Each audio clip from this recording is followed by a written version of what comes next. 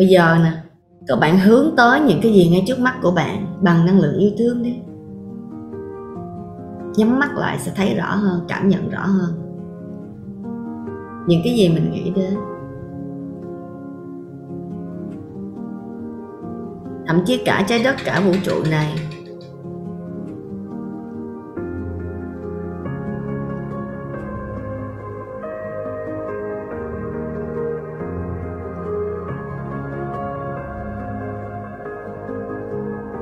yêu thương. Ở vị trí giác tỏa năng lượng yêu thương không giới hạn ra tất cả.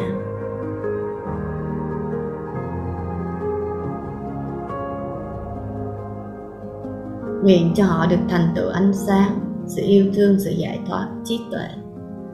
Các bạn đang nguyện cho họ, chúc cho họ là các bạn đang giúp cho chính mình. Tại vì các bạn có sự kết nối với cả vũ trụ này. Cái đó là omnipresent, cái đó là nhất chân pháp giới.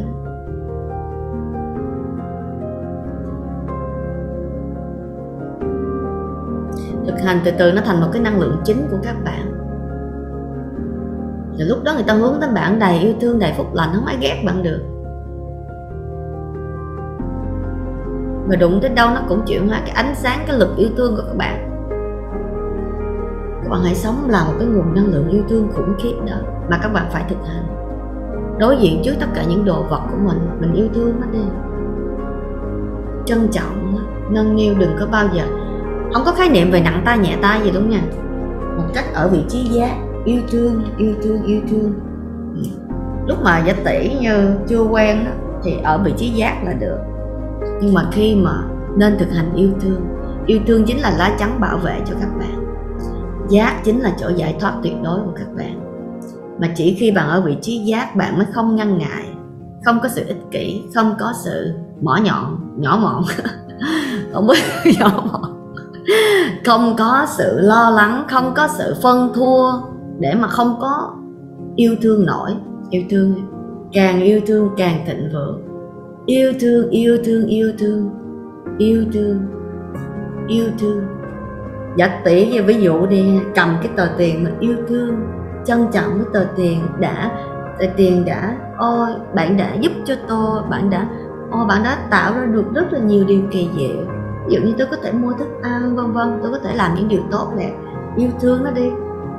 Và khủng khiếp lắm. Các bạn nói là, ví dụ như bữa trước á mì đi ra, mọi thứ là tâm linh. Mì phải đi ra ngoài livestream gấp á. Lúc đó mì thường cho mì chải tóc mất rất nhiều thời gian. Bữa đó mì, tất cả những cái cái đồ vật, trang điểm trước mì á mì nói là, các bạn hãy thể hiện tất cả những thế mạnh của các bạn gửi yêu thương đó ngọt tự nhiên mỗi thứ mình trải giống như là nó rất là suôn sẻ và nó rất là đẹp. Cái ngày đó cái tóc của mình rất là đẹp. Ừ. thực hành thử đi. Yêu thương trân trọng năng lượng đó không bao giờ là lãng phí hết á. Năng lượng thành cái đức của các bạn. Yêu thương trân trọng những đồ vật xung quanh mình. Nó hơn là đối diện với những vật xung quanh mình bằng sự bất an không? Các bạn ấy xứng đáng. Các bạn ấy đã được mình nâng niu đem về.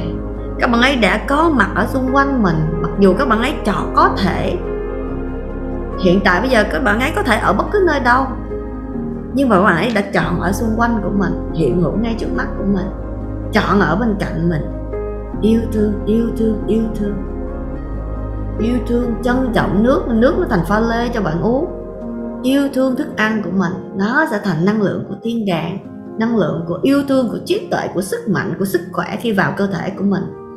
Yêu thương yêu thương hướng đến tất cả mọi người mà cho dù họ bất an, họ phiền não như thế nào, hoặc là họ có thể bạn tạm gọi là họ xấu với bạn đi.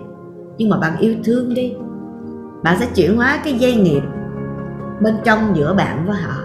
Mà cộng đồng của cha mày thực hành, nó thành tựu rất là nhiều. Yêu thương.